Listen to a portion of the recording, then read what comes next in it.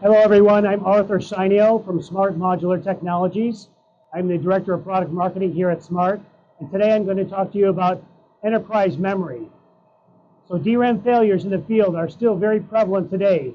DRAM failures cost OEMs a lot of money in downtime, in extra resources to go change memory, and also the technicians that have to be sent out to the field to change this memory. So the other factors associated with DRAM failures are the, the smaller process geometry, the higher densities, and the higher speeds. These are all contributing factors to ongoing DRAM failures in the field.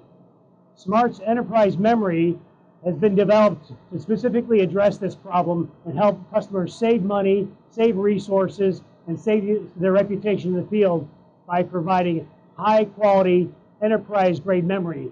We do that by doing an extensive test process here on these custom built server racks.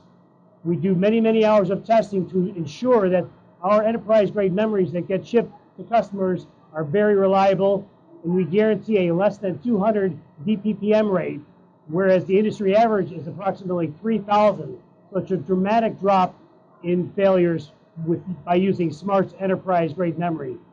So please contact Smart today. We can help you adopt this enterprise grade memory and help you save money, save resources, and provide high grade memory for your servers and data centers. Thank you.